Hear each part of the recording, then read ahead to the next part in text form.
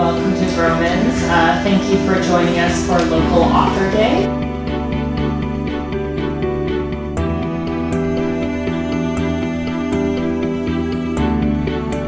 Uh, Miguel Lopez de Leon is an award-winning author of several YA, middle grade, and dark fantasy novels. His debut YA fantasy, Galadria, Peter Huddleston, and the Rites of Passage was listed as one of the best books of 2014 by Kirkus. Uh, since the Galadria trilogy, uh, Miguel has written six more fantasy novels, the most recent being It Took Billy, which he will be presenting today. Uh, it also won a 2018 to 2019 Reader Views Literary Award and the 2019 Eric Hoffer Book Award uh, in the categories of horror and commercial fiction. And with that said, please join me in welcoming Miguel Lopez de Leon. Whether at book festivals, conventions, or book signings, I've been asked many times why I chose to deviate from my chosen genre of young adult middle grade fantasy to a dark fantasy novel that is for adult readers only.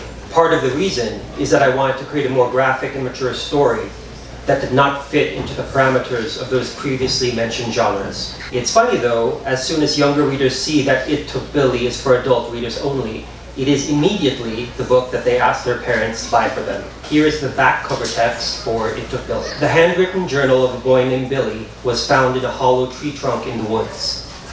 The pages from the first half of the notebook had been ripped out. At the time the journal was discovered, Billy had been missing for three months. It Took Billy is a dark fantasy for adult readers. The story centers around the harrowing journey of a teenage boy who is abducted by an ancient demon and thrust into a twisted world full of cruel magic, powerful mystics, and enraged immortals. Left with nothing but his notebook and a pen, Billy chronicles every detail of his terrifying ordeal. This is Billy's journal. Who is this pale ancient demon? Why did it choose him? Why is he still alive? And when will the demon finally kill him? Billy is forced to grapple with his own mortality, his own growing sense of mental instability, and a perspective of the world that he never even knew existed. The themes explored in this book are the sometimes thin line between good and evil, loneliness, how so many feel a desperation to belong, the seductive nature of power, and how the same events can be seen in a multitude of different ways, depending on the perspective and mental filters of the person viewing them. Thank you so much to all of you for coming here today and listening, and thank you so much to Vroman's Bookstore, Alta, and to Jennifer, Rira, and everyone who made this local author day possible. Yes.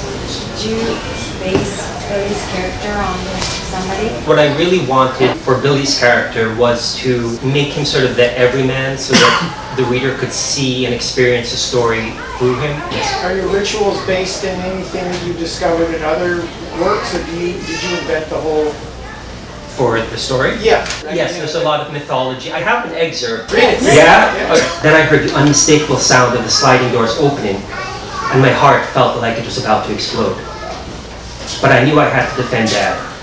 I once again pocketed my phone and dropped the useless flashlight before creeping into the living room, gripping the poker with both hands. The demon was standing in the middle of the room. I wanted to yell at him. I wanted to run over to him and start swinging wildly. I also knew that there were kitchen knives close by, and the heavy fire extinguisher could probably be used as a weapon too. But despite thinking all this, all I could do was stare at him. He was so tall and so thin. His eyes were sunken in and his skin was so pale that it was almost bluish. I could feel the cold air coming in from the open sliding doors. The odd smell in the air nauseated me. Glancing at the balcony, the moonlight revealed the carcasses of dozens of dead squirrels on the rickety floor. I don't know if I was hypnotized or in shock, but I couldn't move. The pale man just kept staring at me, and then he started whispering incoherently under his breath. I wanted to shout out when I felt something brush against my frozen shoulder. I watched in horror as my dad walked past me. He seemed to still be asleep as he slowly made his way to the terrifying man in the center of the room. Then the monster started whispering louder, and there's no other way to say this. My dad started levitating off the floor. His legs were hanging limply down, and both his arms were sticking straight out on either side of him.